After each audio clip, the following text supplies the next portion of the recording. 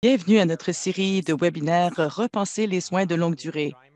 Je suis Neil Dreimer, directeur des programmes d'innovation en santé à Excellence en Santé Canada, et mes pronoms sont il et lui, et je suis très heureux d'être votre hôte aujourd'hui.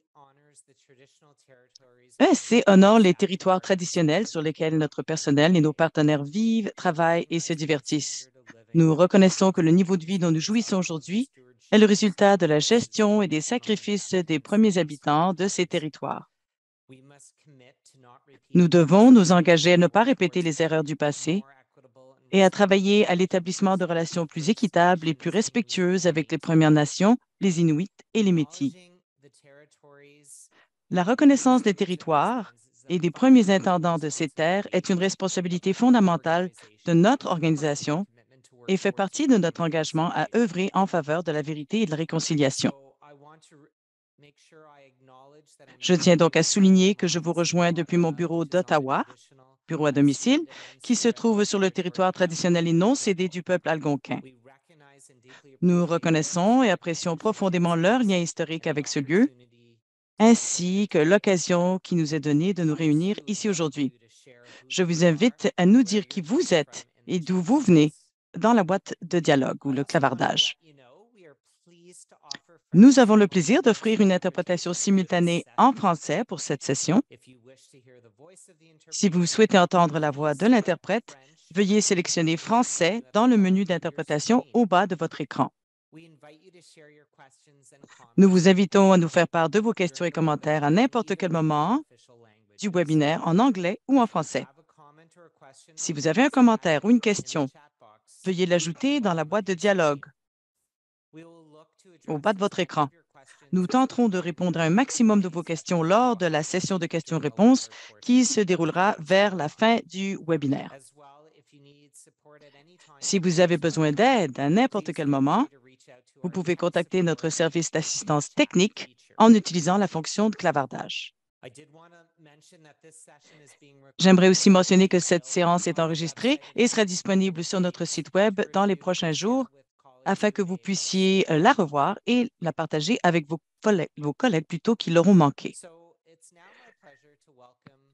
C'est maintenant mon grand plaisir de euh, vous euh, présenter Christina Southby, qui est une consultante indépendante et une conseillère en, elle est conseillère en amélioration de la qualité pour les enseignants et coach de longue date. Nous sommes très heureux de l'avoir parmi nous. Elle va nous présenter des renseignements vraiment très importants sur euh, les systèmes de santé sans agisme et le cadre des quatre piliers. Pour vous en dire un petit peu plus, justement, elle est, comme je le disais, consultante indépendante et conseillère en amélioration de la qualité qui a travaillé avec les clients au Canada, aux États-Unis et dans le monde entier, en fait. Elle a soutenu de nombreux projets dans le domaine des soins primaires et communautaires notamment des, initiatives axées sur la maladie pulmonaire obstructive chronique ou MPOC, la dépression, l'accès des prescriptions et les soins aux personnes atteintes de démence. Elle a joué le rôle de facilitatrice de pratique dans le cadre de diverses initiatives pendant plus d'une décennie et dans trois provinces du Canada. Elle a suivi une formation avancée en méthode d'amélioration dans le cadre du programme ATP d'Intermountain à Salt Lake City, dans le Utah, et elle a appliqué son expertise dans de nombreuses séances de formation aux petits et plus grands groupes et est une animatrice et une enseignante très demandée dans son domaine. Elle est donc euh, conseillère en amélioration euh, des contrats pour l'Institute for Healthcare Improvement et enseigne en son nom à l'échelle internationale. Elle détient euh, donc une maîtrise en santé communautaire et épidémiologie et d'une licence en biologie moléculaire et génétique et vit avec sa famille à Toronto.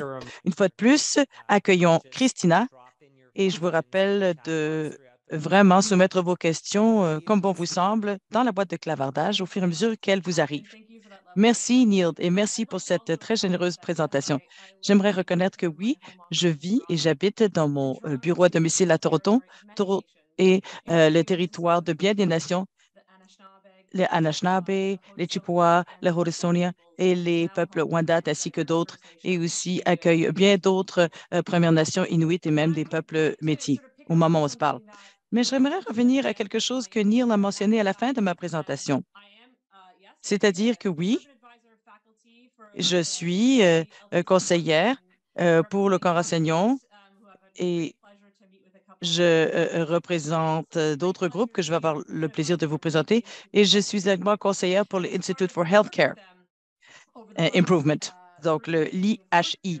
Et au fil des trois, quatre dernières années, j'ai eu même le privilège de soutenir les systèmes age-friendly ou donc sans agisme et je soutiens leur communauté d'action. C'est une des façons où nous sommes en mesure de soutenir les systèmes à travers différents contextes aux États-Unis et sur la scène internationale pour mettre en œuvre ces systèmes sans agisme qui se fient sur les quatre piliers. Donc, je viens aujourd'hui pour vous parler un peu de ce mouvement de systèmes sans agisme. Je vais vous parler aussi des quatre M en anglais, les quatre piliers en français, dans l'espoir euh, que pour ceux qui pensent qu'il s'agisse d'un cadre qui pourrait les inspirer ou leur être utile, ils auront donc la capacité d'explorer ce que cela pourrait dire pour eux, parce qu'il s'agit d'un mouvement et d'un cadre qui est très, très populaire euh, pour ceux que nous avons pu euh, rejoindre dans les cinq dernières années. voilà, là où le mouvement a été actif, donc a connu un grand succès. On va passer au prochain cliché. Le but de ces systèmes sans agisme est que d'ici le 30 juin 2023, euh, que l'on reconnaisse plus de 2600 hôpitaux, cabinets, foyers de soins et cliniques sans rendez-vous comme des systèmes de santé sans agisme, donc euh, age-friendly. Donc, une des idées sous-jacentes, c'est que les quatre piliers sont applicables dans plusieurs contextes, comme vous le voyez dans les objectifs. Et ensuite, et de le faire de façon vraiment équitable, euh, selon la race, l'origine ethnique et à tous leurs patients aînés. Et dans ma présentation, je vais vous parler un peu de comment on cherche à comprendre euh, la perspective de l'équité et comment tout ça peut être tissé à travers les différentes étapes du chemin pour en arriver à un système sans agisme. On va passer au cliché suivant. Je ne vais pas m'attarder trop lentement, euh, trop longuement sur euh, le pourquoi tout cela est tellement important à notre fondation et IHI. Je pense que vous le savez déjà beaucoup, mais tout simplement pour vous dire que la raison pour laquelle il s'agit d'un mouvement qui a été un point focal.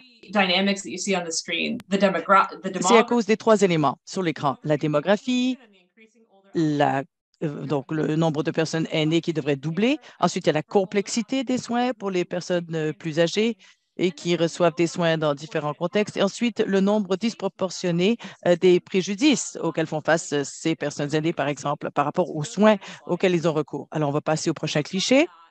Alors, à partir de là, la mission du Age-Friendly Health Systems, donc ce système sans agisme, c'est d'amorcer un mouvement pour des soins aux personnes aînées sans agisme. Ce que cela veut dire, c'est que c'est guidé par quatre piliers fondamentaux éclairés par des données probantes? Et je vais vous parler de ces quatre piliers sous peu, vous allez voir. Mais c'est sans préjudice et c'est en accord avec ce qui importe à la personne aînée elle-même et sa famille. Prochain cliché, s'il vous plaît. Pour prendre un pas de recul en termes de où euh, ces quatre piliers viennent et le cadre vient, alors, le président du Johnny Hartford Foundation a demandé à IHI, l'Institute for Healthcare Improvement, de soutenir le travail qu'il considérait comme étant important. Alors, ils ont rassemblé IHI et le Johnny Hartford Foundation euh, tôt dans le travail, une quantité d'experts dans les différents euh, domaines pour les soins de personnes euh, plus âgées, pour regarder les modèles de soins qui existaient et passer à travers l'épreuve et sortir les quelques domaines euh, qui sont fiables à l'intérieur de soins, de contexte de soins, qui pourraient mener à de meilleurs résultats, de meilleures expériences euh, euh, vis-à-vis ceux pour lesquels on prodigue les soins. Prochain cliché. Alors, justement, de ces quelques exemples, ce que le panel d'exemples, d'experts plutôt, a décidé sont les quatre exemples, les quatre les quatre piliers. Ce qui est important, c'est connaître les objectifs de santé, les préférences des soins de chaque personne aînée, y compris les soins de fin de vie, etc. Donc, c'est important. Ce n'est pas que la, fin de vie ou les soins adaptés à la fin de vie ou quoi que ce soit. C'est ce qui est important pour l'adulte plus âgé. Ce qu'ils aimeraient pouvoir faire, euh, prendre leurs décisions, euh, le genre de soins qu'ils aimeraient recevoir et comment euh, on peut les aider en termes de santé. Et c'est de poser la question que ce soit les différents types de contextes ambulatoires chez eux, dans les établissements de soins, etc., dans les cliniques. Lorsqu'on se penche sur la question des médicaments, quels sont les médicaments nécessaires en utilisant des médicaments qui n'interfèrent pas avec, par exemple, la modalité ou la lucidité des différents patients, c'est surtout c'est ça qui les c'est important pour eux. Ensuite, il y a lucidité, prévenir, euh, détecter, traiter et prendre en charge la démence, la dépression et le délirium dans l'ensemble des milliers de soins. Et évidemment, il faut y aller au cas par cas. Je vais vous parler un peu de la personnalisation qui est possible. Euh, en termes de ces quatre piliers de soins sans agisme. Ensuite, pour ce qui est de la mobilité, euh, veiller à ce que les personnes aînées se déplacent tous les jours de manière sûre pour préserver le fonctionnement et faire ce qui importe pour elles. Alors, chacun de ces piliers est important de façon indépendante, mais on en parle comme étant une série de quatre piliers et s'assurer que les quatre piliers soient évalués et qu'on les respecte de façon fiable comme étant une série pour tous euh, ces personnes, euh, ces aînés. Euh, ça fait partie des objectifs quand on parle de système sans agisme. Ces éléments sont vraiment sous-jacents et sont, représentent les assises du système. On va passer au prochain cliché. Pourquoi ces quatre piliers? Bon, on parle de la représentation des principaux problèmes de santé des personnes aînées. Je viens de vous le mentionner rapidement un des éléments, un des objectifs qui nous a inspirés à trouver ce cadre et qui a fait cocher d'autres qui l'ont mis en vigueur dans leurs euh, établissements euh, respectifs, c'est donc vraiment de respecter le modèle et de faire en sorte que euh, les systèmes puissent évaluer où sont les modèles, qu'est-ce qui est déjà en place, à quoi ressemblent ces modèles à l'heure actuelle, agir, être pouvoir poser des gestes pratiques par rapport à chacun euh, de ces quatre piliers, etc. Et tout cela euh, euh, représente des éléments synergétiques qui se renforcent mutuellement. À l'intérieur de ma propre famille, j'ai pu réfléchir sur tout ça d'un être prêche, comment ces quatre piliers pourraient être en place ou ne pas être en place pour quelqu'un qui est cher, qui est proche de moi. Et c'était très intéressant parce que je parlais à Great Red Falls et on était en mesure de passer à travers ces quatre piliers quelles sont les applications? Quelles euh, sont les, les, applications du fait que ces personnes prêchent ces médicaments? Y a-t-il des préoccupations sur la cognition? Euh, y a-t-il des expériences que l'on pourrait améliorer? Y a-t-il quelque chose que l'on pourrait faire pour appuyer euh, donc la cognition à cette personne qui est très importante pour moi? Comment s'assurer que tous les soins, tous les, tout soit disponible, tous les soins soient là pour euh, que cette personne puisse faire ce qu'elle a envie de faire au quotidien. Et là, vous voyez que ce sont vraiment les quatre piliers en tant que série ensemble euh, qui s'étayent les uns les autres. Et c'est très important pour chacun des individus. Voilà la vision et l'objectif. Et ça fait toute une différence. On va passer au prochain cliché. Il y a un résumé des preuves vous voyez les données probantes sur les quatre piliers, l'interaction et les résultats sur l'ensemble du continuum des soins. Et un des éléments les plus importants, c'est parce que les quatre piliers viennent de la révision des données probantes. On sait qu'il y a des résultats euh, probants pour tout cela et c'est résumé ici avec ce document que vous voyez devant nous et euh, les différents liens auxquels vous avez accès euh, dans le clavardage, si je ne m'abuse. Je viens d'apprendre aujourd'hui, en plus, qu'il y a plus de 300 références aux quatre piliers ou le cadre des quatre piliers ou les systèmes sans agisme euh, qui sont publiés dans les différentes littératures. Alors, ces systèmes sans agisme et tout ça, toute cette question apparaît de plus en plus souvent ce qui indique que c'est quelque chose qui exerce une influence auprès des gens et qui améliore la situation. On passe au prochain cliché. Ce que vous allez sans doute vouloir entendre, eh bien, à quoi cela ressemble-t-il euh, euh, pour les foyers ou les soins euh, en SED? Alors, puisqu'on est une organisation qui se penche sur l'amélioration, on cherche toujours à, aux catalyseurs primaires, n'est-ce pas, sur lesquels on peut se concentrer pour ce qui est de réaliser les objectifs que nous avons pour ce qui est des soins fiables. Pour chaque contexte, nous avons un diagramme une théorie, donc un diagramme de force mobilisatrice. Des choses sur lesquelles nous devons nous concentrer pour qu'on puisse vraiment prodiguer euh, les soins selon les quatre M dans chacun des contextes. Pour chacun des euh, contextes, vous voyez ces deux à droite qui découlent de celui gauche, c'est d'évaluer toujours les quatre piliers pour chaque personne âgée. Ensuite, agir, intégrer les quatre piliers au plan de soins. Donc, pour chacun de ces contextes de soins, ce sont les deux composantes auxquelles nous pensons et ensuite les mesures, les gestes associés à chacune des évaluations et de ces actions, c'est de personnaliser ce contexte de soins.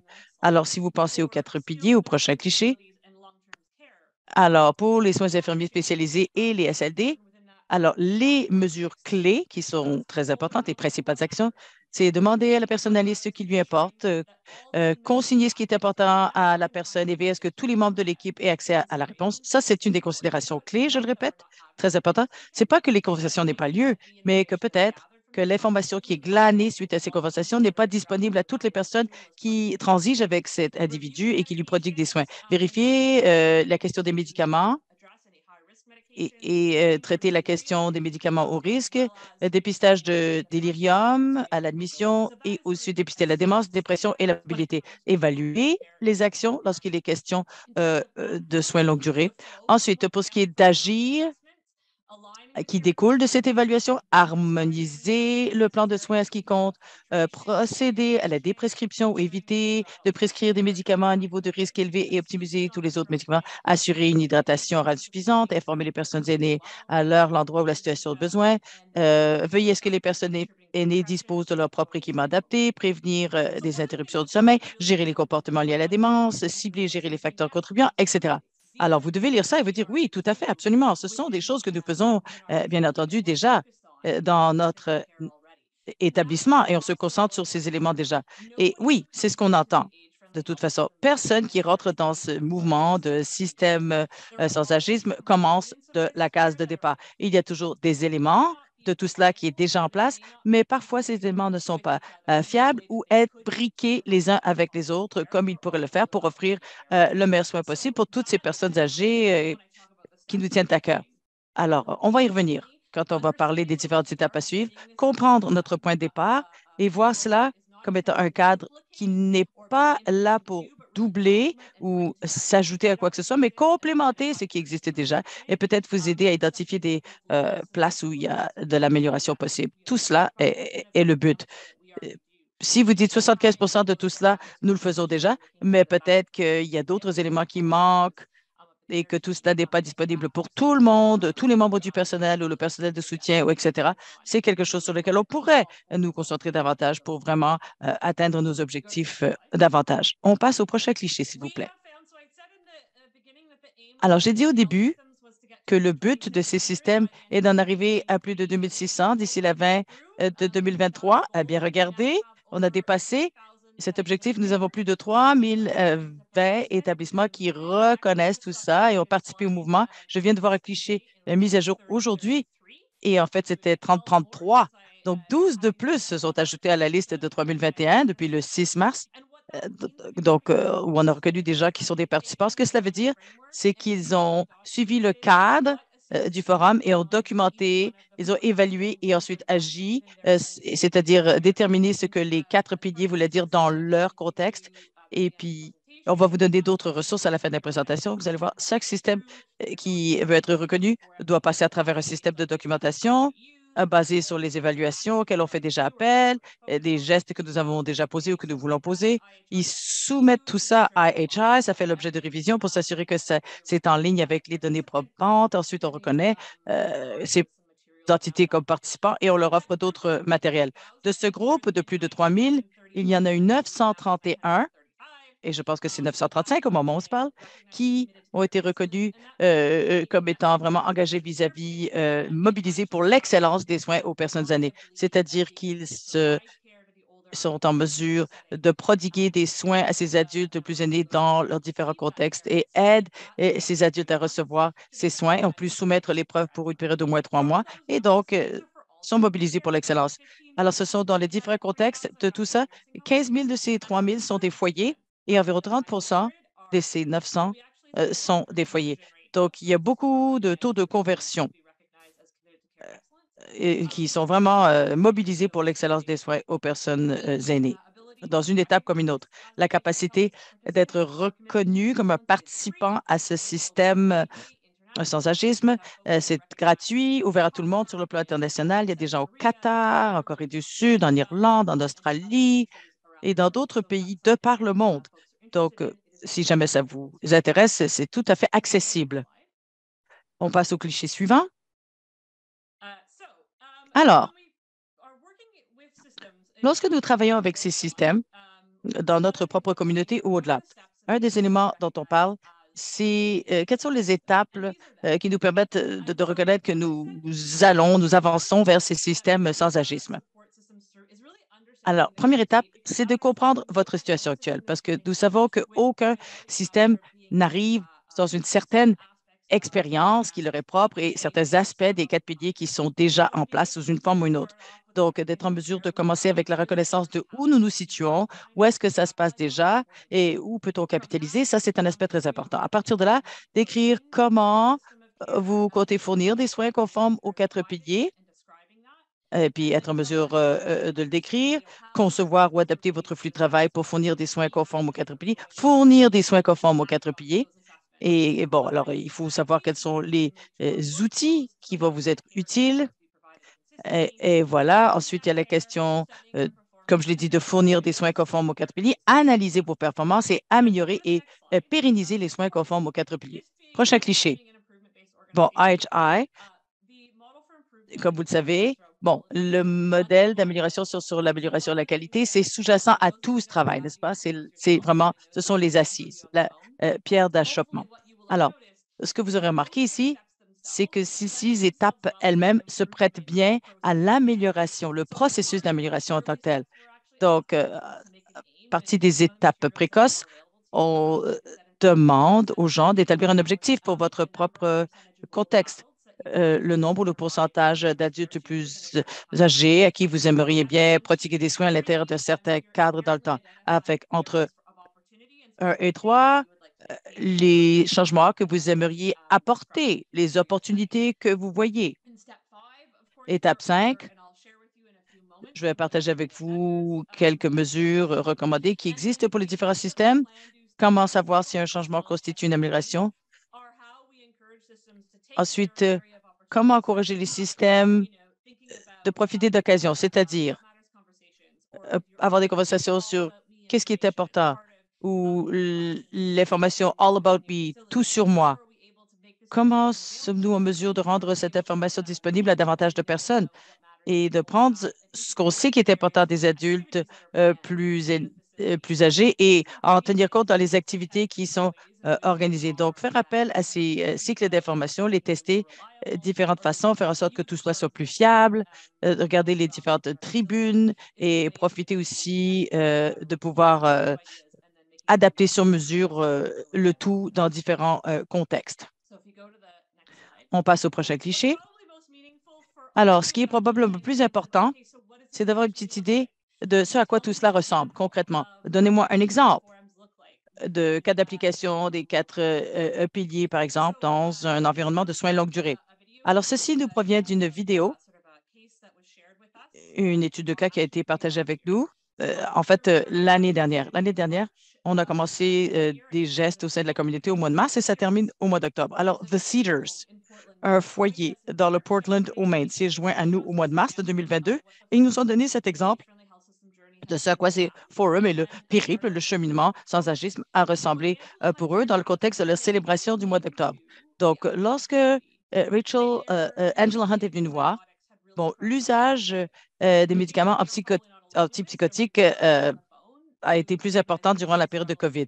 Il y en a plusieurs en ligne qui ont probablement vécu cette, euh, ce même phénomène. Donc, une augmentation de 28% de l'usage de ces médicaments lorsqu'ils se sont joints à notre communauté d'action l'année dernière. Ils ont vu l'exploration des quatre piliers et le cadre comme étant un moyen de se concentrer sur les stratégies qui existent sur la réduction de l'usage de ces euh, antipsychotiques. Alors, euh, donc, ça, c'est l'aspect médication, c'est très important, médicaments. Et comment ils l'ont fait? C'est qu'ils ont réfléchi à, l'usage du ce qui compte, what matters. Et ils voulaient capitaliser sur cet aspect avec le processus All About Me, tout à propos de moi. Et aussi, il y a la question de la formation et les ressources du travail de Tipa Snow euh, sur la manière de prodiguer des soins aux personnes atteintes de démence, etc. Et, c'est la même chose pour les personnes euh, d'entretien ou qui font du ménage ou du côté euh, de la nutrition. Tout le monde est formé en termes des stratégies, des ressources et des moyens euh, pour soutenir ces personnes qui vivent avec la démence. Donc, à travers le travail du Forum, nous avons identifié certaines de ces occasions entourant la euh, capacité de euh, prescrire des médicaments, dont des antipsychotiques. Ensuite, avoir de l'information sur ce qui est important pour les individus, rendre tout ça disponible. Et ensuite, les gestes posés suite la, à la connaissance de ces éléments Donc, toujours euh, en cherchant à soutenir ces personnes qui sont atteintes de démence et autres. Donc, de rassembler tout ça dans le travail qu'il faut au quotidien. Et lorsqu'ils ont, découvert, quand ils ont exploré ces différentes initiatives, c'est qu'ils sont passés un taux de 28% à 38% tandis qu'ils sont passés à travers cette communauté d'action et quand ils ont commencé à adopter euh, certains gestes. Alors, les quatre piliers eux-mêmes n'étaient pas un remplacement par rapport à ce qu'ils faisaient auparavant, mais ils voulaient voir ce qu'ils avaient déjà en place et comment tout cela pouvait euh, donc euh, se concrétiser, comment ils pouvaient renforcer, etc., leur situation. Et aussi pour s'assurer de faire en sorte à ce que les éléments soient plus fiables. Ce qu'ils font maintenant, parce qu'ils ont testé ça dans une partie de leur installation, mais aussi des services de réhabilitation. Et maintenant, ils, pensent, basé sur le succès qu'ils ont connu, à faire ça dans les foyers, euh, les résidents dans les foyers, comment ils peuvent faire appel au même processus et se pencher sur les quatre piliers pour ceux qui sont là en réhabilitation ou en réadaptation.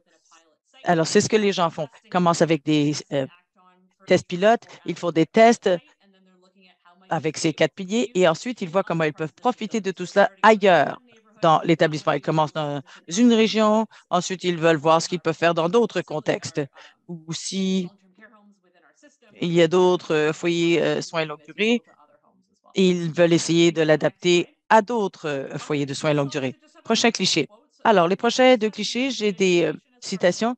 Après avoir demandé au patient ce qui apportait le plus pour lui, nous y avons fait référence, ce qui a entraîné une séance beaucoup plus utile ces citations sont vraiment très percutantes.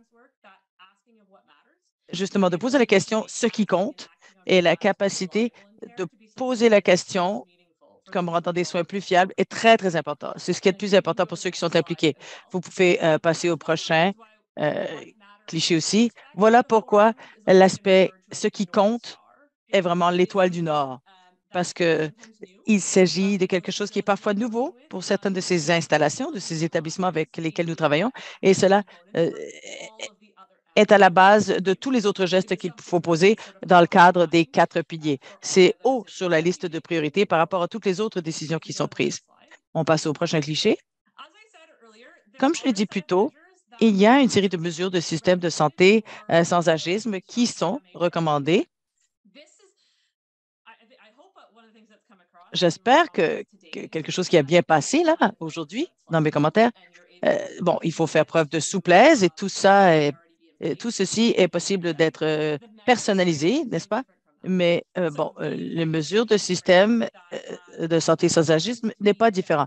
Nous avons quelque chose qui est généralisable, entre guillemets, et qui comprend qu'il faut mesurer à quel point les éléments sont fiables.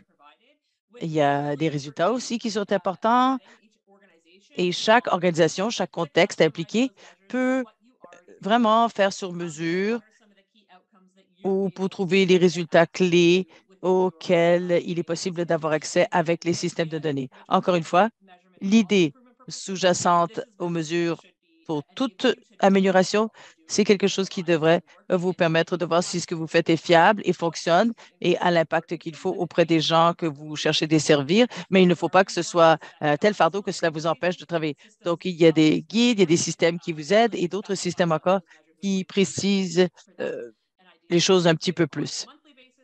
Alors, euh, il est possible de glaner tout ça sur une euh, base mensuelle, selon l'âge, la race, l'ethnicité, pour s'assurer que tous les adultes euh, plus âgés ont accès égal au forum. Ensuite, au prochain cliché, cette conversation sur la question de l'équité. Et qu'est-ce que, cela veut dire dans un contexte de sans-agisme? Bon, j'ai pu faire partie de cette conversation au fil de la dernière année. Nous travaillons étroitement avec cinq systèmes et ce depuis 2022, pour en savoir un peu plus sur ce que cela veut dire que d'être évalué, donc euh, la qualité, mais toujours avec la question d'équité. Et ce qu'on a découvert, c'est que c'est un peu comme quand vous avez la recette des euh, quatre piliers et le succès, et il y a des moyens de euh, faire appel à cette lentille de l'équité à chacune des étapes qui commence par comprendre les travaux en cours dans le système et la façon dont les personnes aînées y sont représentées, comment l'âge est représenté à l'intérieur de cela et comment il est possible pour nous de comprendre comment ces systèmes sans agisme fonctionnent. Alors, ça, c'est très important. La loupe de l'équité est très importante. Je vais vous laisser lire les détails sur les clichés vous-même. Il y a un document également qui a été rédigé, auquel vous pouvez vous référer. Ce que je vais faire, je pense, est de vous fournir quelques-uns des exemples qui ont été soulevés par rapport au système avec lesquels vous travaillez.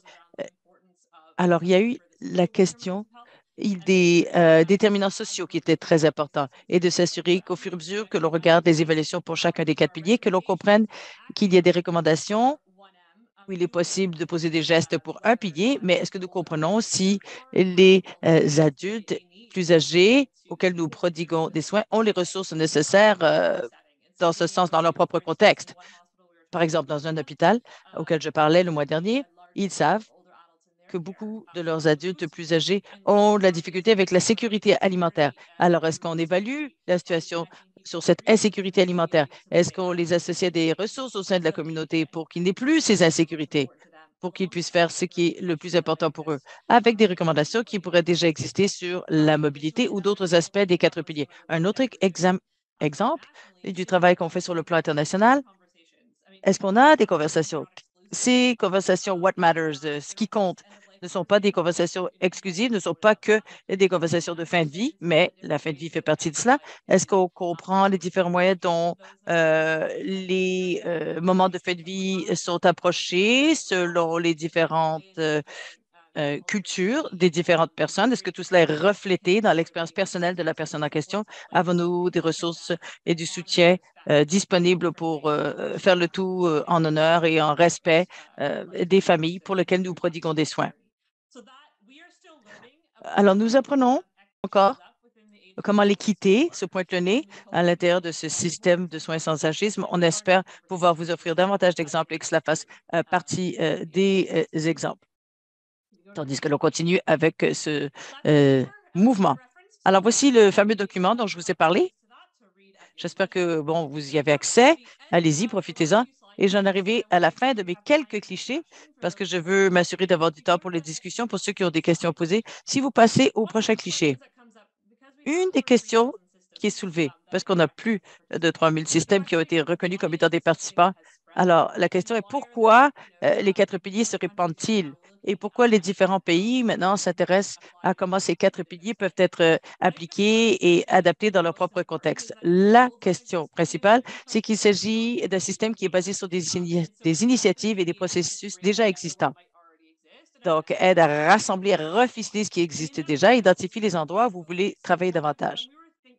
Lorsque nous avions une conversation sur le côté équité, à l'intérieur de ce contexte de systèmes euh, qui ne sont pas agistes, eh bien, il est possible de tenir compte de la beauté de la simplicité et des éléments clés auxquels pensent les gens, tandis que les gens font leur cheminement. Donc, la simplicité des priorités et des quatre piliers aide tout le monde dans l'environnement. Ça nous aide à vraiment comprendre euh, les points sur lesquels il faut agir ça a été un lien et ça a rendu euh, les choses beaucoup plus conviviales et faciles. Euh, comme faire partie de SDL+, et de faire partie d'un hub, d'un centre, comme vous le faites, la possibilité d'interagir avec les communautés, la reconnaissance qui favorise les liens intersystémiques a été aussi euh, d'une grande ressource. Il y a plus de quoi 15 communautés d'action et qui, ont, euh, qui se sont penchées sur ces questions et les différentes façons de réseauter, que ce soit en ligne ou par ailleurs, et la gratuité de la reconnaissance et de l'accès aux ressources et aux outils de soutien euh, grâce à la générosité de la John A. Hartford Foundation. Euh, bon, les ressources sont là, le processus de reconnaissance et tout le reste. Cela réduit les obstacles considérablement. Je suis centré sur ce qui importe, le what matters pour la personne aînée. C'est quelque chose qui euh, amène une grande valeur, une grande contribution et attire les gens à ce travail au moment où on se parle. Prochain cliché.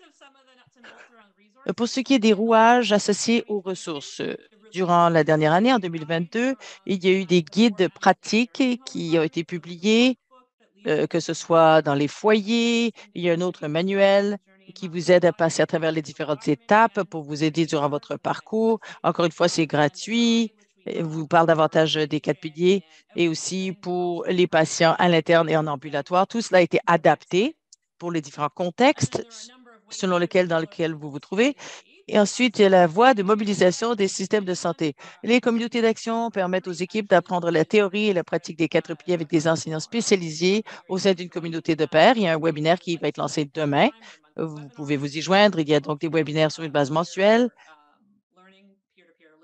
avec des conversations d'apprentissage entre pairs. Euh, vous n'avez pas besoin de faire partie d'une communauté d'action. Vous pouvez le faire de vous-même. Il y a plusieurs personnes qui ont fait ça. Vous pouvez quand même soumettre votre demande et être reconnu. Et ensuite, au prochain cliché, il y a aussi un cours en ligne, euh, offrir des soins sans agisme aux personnes âgées. Euh, les cours en ligne sont gratuits, donc est accessible sur ce lien New Education Platform sur la page d'accueil de l'IHI. Euh, pour plus de renseignements sur l'inscription, veuillez consulter notre guide d'utilisation. Donc, ça, ça peut certainement vous intéresser et certainement vous être utile. Et le prochain cliché, voilà le lien. Prenez part au mouvement. Euh, voilà, pourquoi devenir un système de santé sans agisme? Et il y a plusieurs études de cas qui représentent les quatre piliers dans tous les contextes, y compris euh, l'environnement des euh, foyers de soins de longue durée. Donc, vous allez avoir accès à toutes sortes d'exemples là. Et voilà, nous y voici. Neil, moi, je pourrais m'arrêter là et demander euh, à quiconque s'ils ont des questions par rapport aux quatre piliers, ce système de soins sans jazzisme, etc. Merci beaucoup, Christina, de votre présentation et merci de parcourir à travers tout ce cadre. D'après ce que vous avez dit, ça semble être relativement simple, n'est-ce pas, comme cadre? Je dirais, il ne faut pas hésiter, parce que comme vous l'avez dit, eh bien, des éléments euh, sont euh, des éléments sur lesquels travaillent les établissements déjà, mais c'est une façon de reficeler tout ça, de le resserrer. Je vous invite, si vous avez des questions ou quoi que ce soit, bon, je sais que nous avons reçu quelques questions déjà, mais continuez à les soumettre tandis qu'elles vous viennent à l'esprit. Je vais commencer. Peut-être qu'il s'agit de quelque chose. Je suis um, sûr que vous y avez pensé, mais pourquoi y a-t-il que quatre piliers, par exemple? Euh, la, malnutrition ou difficulté de mobilité, etc. Expliquez-nous pourquoi il n'y a que quatre piliers, finalement. Lorsque les experts sont venus au cadre, ils se sont penchés sur ce qu'il y avait de vital, parce que c'est un cadre qui doit fonctionner dans différents contextes. Quels sont les quelques éléments vraiment vitaux qui si on s'y fiait de façon vraiment viable et qu'on les analysait en profondeur de façon viable, mènerait à de meilleurs soins et de meilleurs résultats. Donc, ils en sont venus à ces quatre piliers qui étaient les quelques euh, principes vraiment incontournables.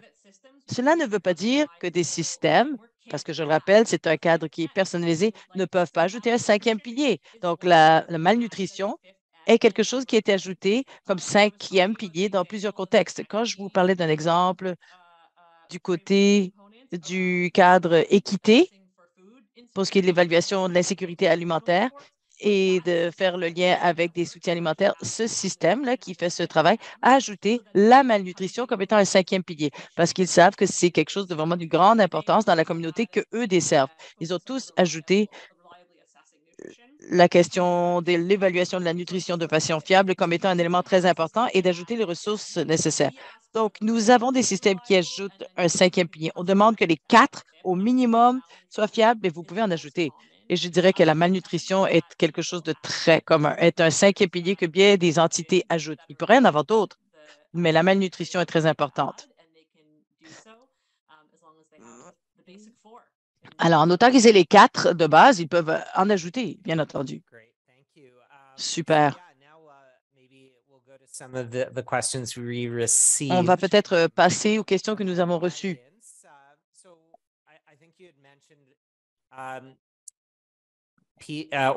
De l'auditoire. Vous avez parlé d'organisations qui se sont jointes, qui peuvent être reconnues comme étant euh, mobilisatrices euh, à l'excellence, les forces mobilisatrices à l'excellence. Alors, à quoi ça ressemble? On reçoit une épinglette, un certificat, je veux dire, qu'est-ce qu'elles reçoivent? Ces entités, ces organisations euh, reconnues. Il y a plusieurs étapes.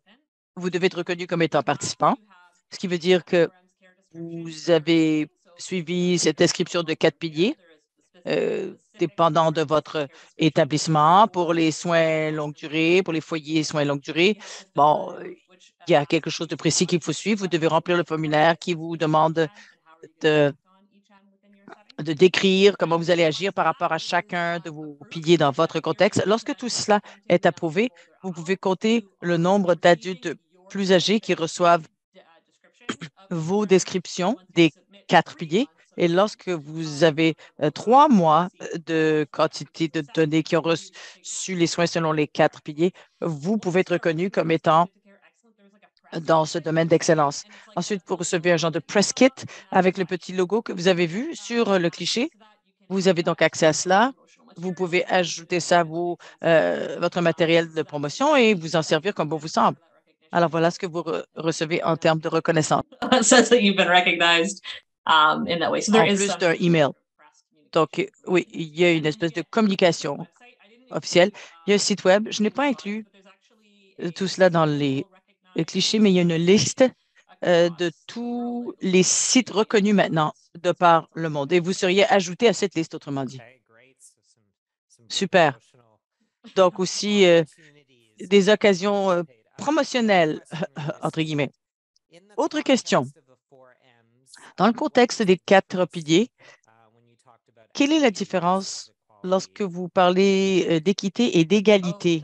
Faites la distinction entre équité et égalité. Hmm, excellente question. Équité, on parle de s'assurer que tous les adultes plus âgés euh, peuvent profiter des quatre piliers de façon fiable. Alors, la façon classique de la différence, c'est pas que tout le monde reçoit la même chose, mais que tout le monde reçoit ce dont ils ont besoin pour faire ce qui est le plus important, ce qui compte pour eux. Alors, quand moi, je pense à la façon dont on encadre les conversations sur l'équité, ce dont il est question, souvent, c'est comment peut-on penser, commencer avec des adultes plus âgés? Qui sont marginalisés quand on leur pose la question qu'est-ce qui compte? Est-ce qu'on peut commencer avec ces adultes plus âgés et, s'assurer que ce soit au centre de, notre, de nos priorités et de comprendre ce qui est de plus important pour eux parce que souvent on les entend moins? Donc, ce n'est pas une question que tout le monde reçoive la même chose, c'est plutôt de comprendre ce qui pourrait mener à une personnalisation et les nuances dans la façon dont on a nos conversations, les ressources qui peuvent être disponibles. Un autre exemple qui vient de nos systèmes, c'est de penser aux différents types de soins euh, qui existent au sein de la communauté. Est-ce que tout notre matériel reflète les liens de soins et qui existent euh, pour les différentes identités, personnes avec des identités sexuelles ou etc. Il y a quelque chose qui découle de l'Université de Toronto euh, par rapport à la communauté LGBTQ+, et comment s'assurer que les environnements soient accueillants et acceptants. Alors, ça fait partie du mouvement. Quelles sont les personnalisations qui doivent être euh, mises de l'avant à l'intérieur de vos systèmes pour que tous les adultes plus âgés qui reflètent la démographie auquel vous prodiguez des soins seront respectés, reçoivent donc les soins de la même manière, qu'il n'y ait pas de disparité de la qualité des soins dépendant de qui est évalué et qui reçoit les soins et que chaque individu euh, reçoit ce dont ils ont besoin euh, selon ce qui est important pour eux. J'espère que ça répond à votre question. Oui, c'est tout à fait logique. Merci beaucoup, Christina. Une autre question. Y a-t-il des exemples de systèmes ou d'organisations sans agisme qui ont fait fonctionner tout cela pour des clients avec des besoins complexes? Si je comprends bien la question, il y a plusieurs fournisseurs, évidemment, impliqués dans le fait de prodiguer des soins pour ces individus qui ont des besoins complexes. Pouvez-vous partager quelques exemples de comment cela a fonctionné, ce système de quatre piliers? Voilà, pour ces individus qui ont des besoins un peu plus complexes. Et on sait que les soins ne sont pas prodigués par qu'un seul fournisseurs, si on veut, ou praticiens. Donc, comment cela fonctionne-t-il quand il y a tant de personnes impliquées, par exemple? Bon, il y a deux choses qui me viennent en tête avec cette question. Tout d'abord, avec 3 000 plus contextes qui ont été reconnus euh, vis-à-vis de l'excellence, il y a une diversité de plus en plus importante dans les types de soins prodigués. Il y a du travail qui se fait du côté oncologie. Ensuite, il y a une représentation importante de cela euh, qui offre des soins en gériatrie et aussi des différents euh, foyers qui offrent des soins à des adultes plus âgés avec des besoins plus complexes. Donc, il y a différents, différents niveaux de soins offerts. Certainement, c'est vrai pour les gens qui ont des besoins plus complexes, mais c'est de voir quels sont les moyens d'évaluer la question des piliers, les quatre piliers, pour que les décisions qui soient prises soient en ligne avec ce qui est important pour cet individu et sa famille et vraiment soutenir ses objectifs. L'autre chose dont on connaît moins les détails, qui est pourtant très important, et peut-être qu'il y a quelqu'un ici à l'appel qui va pouvoir euh, nous aider avec cette question. C'est la question de savoir comment les quatre piliers sont utilisés en période de transition. Il y a des systèmes qui se penchent entre les différentes transitions, oui. Bon, mais c'est quelque chose dont on est moins au courant. On a moins d'expertise sur le fait d'améliorer cela, les périodes de transition. Nous avons des systèmes qui font bien ça et qui suivent une personne tout au long du périple, tout au long du cheminement. Oui, euh, d'un contexte à l'autre. Mais même ces systèmes qui se sont penchés sur ces questions de contexte multiple euh, cherchent à peaufiner comment ils vont faire suivre euh, les données dans les différents environnements entre les mains des spécialistes qui éventuellement seront impliqués, etc. Donc, j'ai espoir que tandis que on est du soutien du point de vue électronique, ça va s'améliorer. Mais cette transition des informations, on doit se concentrer davantage là-dessus. Comment les systèmes font-ils bien cela? Um, Parce que nous um, savons qu'il peut y avoir des écueils, tandis que les patients ou ces individus passent d'un contexte à l'autre. La transition n'est pas toujours évidente du point de vue des quatre piliers. Tout à fait, je pense que c'est un des défis, non seulement pour les quatre piliers, mais en fait, pour les soins intégrés à travers toutes sortes euh, de contextes. Alors oui, on a bien hâte euh, d'entendre parler de quiconque qui peut offrir des exemples dans ce sens. Ah, bon, mes, mes, mes diapos ont bougé. Bon, il y a un commentaire que j'ai vu, mais qui est en ligne avec d'autres questions. Quelqu'un a reconnu le fait que les résidences et les familles ont de la difficulté à articuler ce qui compte, à l'exprimer. Oui, hmm, c'est intéressant.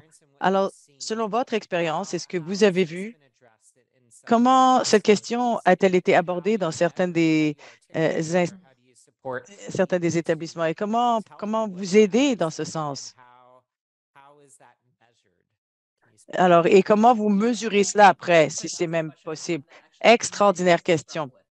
Oui, et beaucoup de systèmes euh, ont des difficultés avec cela. Alors, alors comment on demande à nos résidents ce qui compte? Ces gens et leurs familles, on fait beaucoup de tests dans ce sens, je dois dire. Dans plusieurs des établissements, plusieurs groupes, euh, ce processus fait l'objet de beaucoup d'examens. Comment glaner de l'information sur le résident et les membres de sa famille? Alors, au Cedars, par exemple, ils ont pris ce processus et qui existait, ont inclus des questions qui reflétaient chacun des quatre piliers dans le cadre de ce processus pour être en mesure de glaner ce qui était important.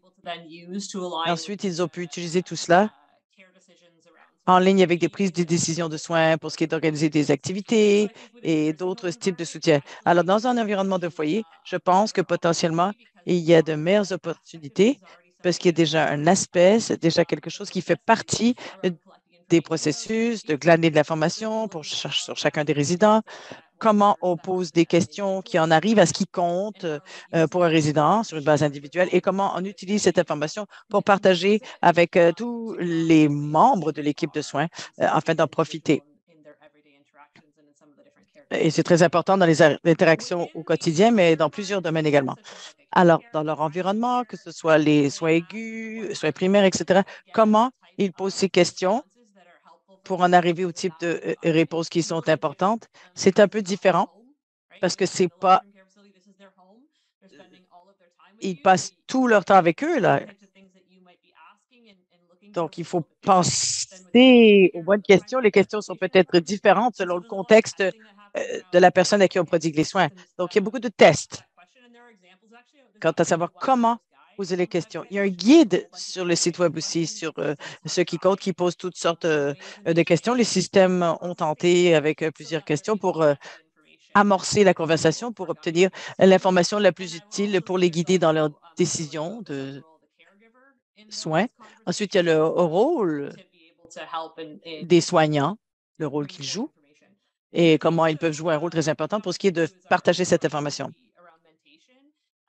Il y a aussi la question, euh, il y a une faculté qui, ou le corps enseignant qui fait du travail sur la lucidité. Et même ceux qui vivent avec certaines démences, il y a moyen d'avoir des conversations, ce qui est important pour eux.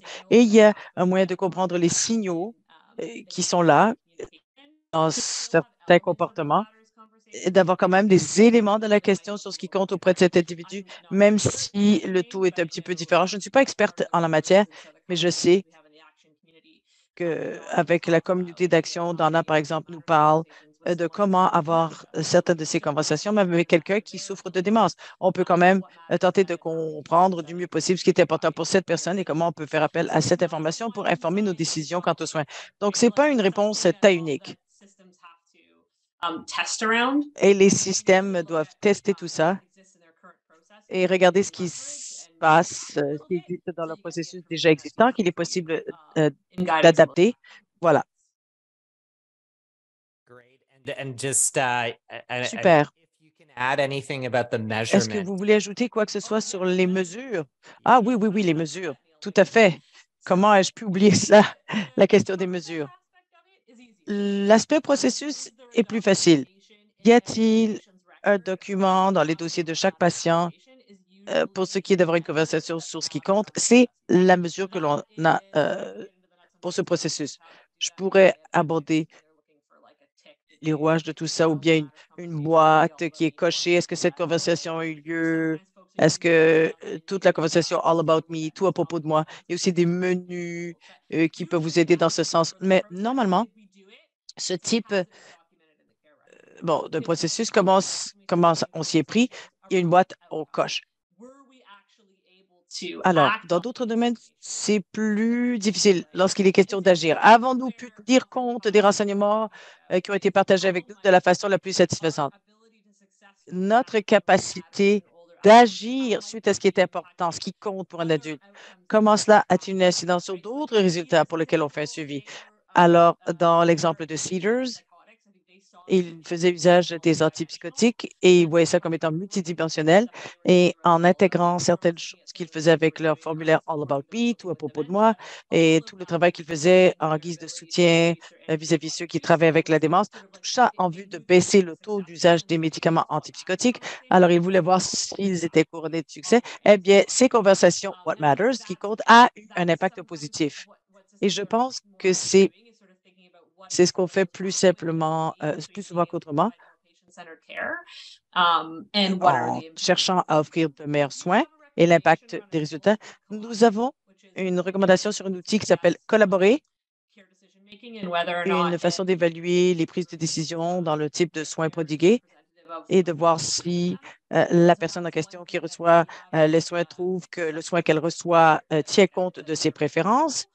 C'est un genre d'outil de sondage s'il y a un sondage qui a lieu, c'est une autre façon un peu de se pencher sur euh, les résultats, mais c'est une mesure moins propre, si l'on veut, et probablement que ce serait une combinaison de choses